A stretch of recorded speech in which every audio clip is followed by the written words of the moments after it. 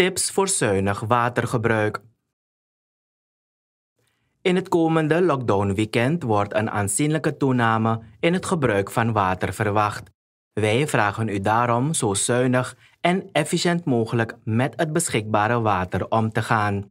Draai tussentijds de kraan dicht bij het tandenpoetsen, scheren, douchen, etc. Draai één grote was in plaats van meerdere kleine wasjes. Maak hierbij gebruik van zuinige wasprogramma's die minder water gebruiken. Maak gebruik van tijltjes bij het afwassen.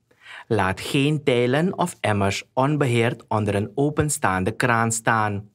Laat kinderen niet met water spelen, bijvoorbeeld in een zwembadje of tijltje, terwijl de kraan open staat.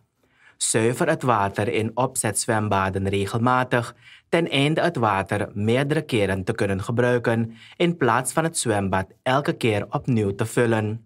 Gebruik bij het autowassen een emmer in plaats van een tuinslang. Zo levert u uw bijdrage aan een optimale waterdruk, zodat alle huishoudens de beschikking kunnen hebben over voldoende goed en betrouwbaar drinkwater.